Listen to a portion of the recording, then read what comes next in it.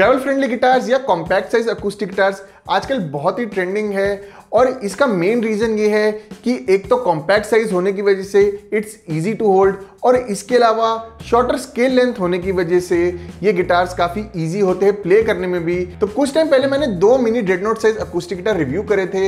एक तो था कॉर्ड का एडी मिनी इसके अलावा था इनिया का ईबी ज़ीरो वन जो कि electro acoustic mini dreadnought size acoustic guitar था। तो आज यहाँ पे मैं एक और दूसरी शेप का travel friendly compact size acoustic guitar लेकर आया हूँ। ये है केपमा का E S thirty six E तो यहाँ पे मेरे पास है इसका इलेक्ट्रोकूस्टिक वर्जन इसमें, लेकिन आपको एक प्लेन वर्जन में मिल जाता है। और ये जो पर्टिकुलर शेप है, ये है इंस्पायर्ड टेलर के जीएस मिनी से। अब सबसे पहले मैं अगर बॉडी डिज़ाइन की बात करूँ तो यहाँ पे आपको एक non cutaway body design देखने को मिल जाता है। जो जीएस मिनी शेप होती है, उसमें आपको मेनली एक नॉन कट अवे डिज़ाइन ही देखने को मिलेगा। तो यहाँ पे ये गिटार जो है इजिली फोर्टीन फ्रेट तक एक्सेसिबल होता है। इसके अलावा इस डिज़ाइन में मेरे को सबसे अच्छी चीज़ लगती है, वो है यहाँ पे ये बड़ा साउंड होल जिसकी वजह से आपको जो है ओवरऑल एक बेटर साउंड प्रोजेक्शन सुनने को मिलता है और एक ऑप्टिमम बेस रिस्पॉन्स भी सुनने को मिलता है as per the body size इसके अलावा यहाँ पे आपको इजी प्लेबिलिटी के लिए शॉर्टर स्केल लेंथ देखने को मिल जाती है। तो एक रेगुलर अकूस्टिक गिटार में आपको 25 से 25.5 इंच की स्केल लेंथ देखने को मिलेगी। पर इस गिटार में जो स्केल लेंथ है वो है 23.5 इंचेस अब बॉडी डिज़ाइन के अलावा अगर स्पेसिफिकेशंस की बात करूँ तो यहाँ पे आपको लैमिनेटेड स्क्रू स्टॉप देखने को मिल जाता है laminated mahogany back and side देखने को मिल जाती है इन ओपन पोर फिनिश इसके अलावा यहाँ पे नेक जो है वो बना है महोगनी वुड से। इसके अलावा यहाँ पे आपको मिल जाता है रोजवुड फ्रेडबोर्ड और रोजवुड ब्रिज तो ये एक फीचर मेरे को काफ़ी अच्छा लगता है केपमा का कि अफोर्डेबल रेंज में भी ये रोजवुड फ्रेडबोर्ड और रोजवुड ब्रिज दे रहे हैं इवन 2021 में। तो यूजुअली अगर आप बाकी ब्रांड्स देखेंगे तो वहाँ पे आपको जो है रोजवुड के ऑल्टरनेट टोन वुड्स देखने को मिल जाएँगे, जैसे कि वॉलनट हो गया जटोबा हो गया लेकिन यहाँ पर कैपमा जो है, वो रोजवुड ही प्रेफर कर रहा है अभी तक।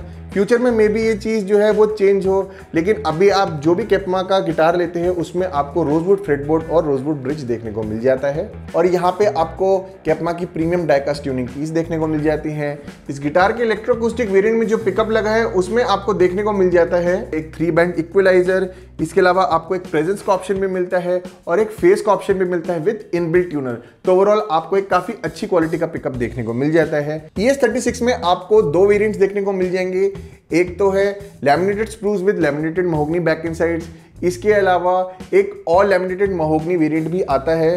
तो दोनों में जो मेन डिफरेंस होता है, वो थोड़ा सा टोनल क्वालिटीज़ का होता है। जो महोगनी वेरिएंट है, वो थोड़ा सा ज़्यादा वार्म और सॉफ्ट होगा टोन वाइज स्प्रूस वेरिएंट जो है, वो थोड़ा सा लाउड होता है और थोड़ा ब्राइट होता है as compared to the mahogany variant spruce variant में आपको तीन ऑप्शन देखने को मिल जाते हैं। एक तो है सनबस्ट कलर इसके अलावा नेचुरल कलर और इसके अलावा ब्लैक कलर तो यहाँ पे जो टॉप का कलर है, वही डिफरेंट होगा और जो बैक एंड साइड से वो आपको एक ओपन पोर फिनिश देखने को मिल जाती है इन तीनों कलर्स में। इसके अलावा एक और अमेजिंग पॉइंट मैं ऐड करना चाहूँगा।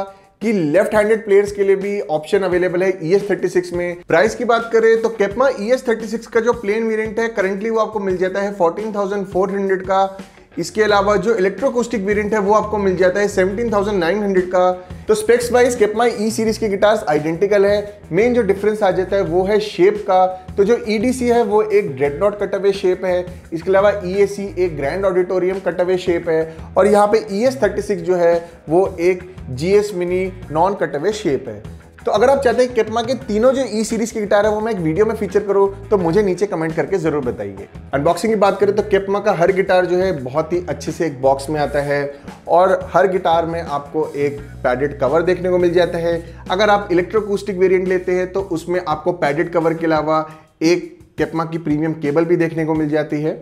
अब फ़र्स्ट इंप्रेशन की बात करूँ तो केपमा ई सीरीज़ के गिटार्स जो है, काफ़ी अच्छे रहे। मैं कई अकूस्टिक गिटार्स ट्राई कर चुका हूँ ई सीरीज़ के, और आउट ऑफ़ द बॉक्स जो है, मुझे कोई भी क्वालिटी इशू नहीं दिखा। इसके अलावा जो एक्शन भी होता है इन गिटार्स का, वो एकदम ऑप्टिमम रहता है, और पर्सनली मैं प्रेफर नहीं करता कि एक्शन जो हो, वो काफ़ी लो हो। तो यहाँ पे आउट ऑफ़ द बॉक्स एकदम ऑप्टिमम एक्शन मिल जाता है, जिससे आपको काफ़ी कंफर्टेबल बस फ्री साउंड सुनने को मिलती है।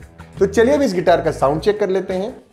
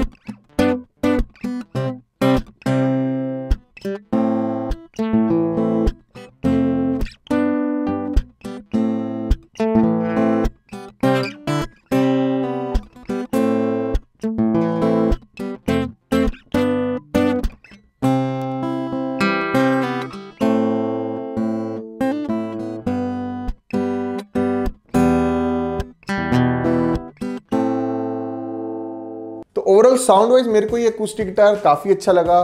यहाँ पे एक स्मॉल साइज़ बॉडी के हिसाब से आपको एक अच्छा साउंड प्रोजेक्शन सुनने को मिल जाता है। इसके अलावा आपको एक ऑप्टिमम बेस सुनने को मिल जाता है। एक चीज़ मैं आपको बताना चाहूँगा कि इस शेप को आप एक डेड नोट साइज़ या एक ग्रैंड ऑडिटोरियम साइज़ से नहीं कंपेयर कर सकते। ऑब्वियसली उन गिटार्स की जो बॉडी है, वो बड़ी है तो ओवरऑल जो वॉल्यूम प्रोजेक्शन है और ओवरऑल जो बेस है, वो आपको बेटर ही सुनने को मिलेगा as compared to this shape लेकिन अपने आप में ये जो शेप है, काफ़ी परफेक्ट ब्लेंड हो जाता है कॉम्पैक्ट साइज़ और वेल रेजोनेंस का। तो इस शेप के अलावा यहाँ पे केपमा ने काफ़ी अच्छी क्वालिटी की टोन वुड्स यूज़ करी हैं और यहाँ पे ये एक काफ़ी वेल बिल्ड प्रीमियम क्वालिटी का गिटार है at a good price point तो ये कुछ गिटार आपको कैसा लगा मुझे कमेंट करके ज़रूर बताइए। अगर कोई डाउट्स या क्वेरीज है तो वो भी कमेंट करिए, मैं ज़रूर आंसर करूँगा।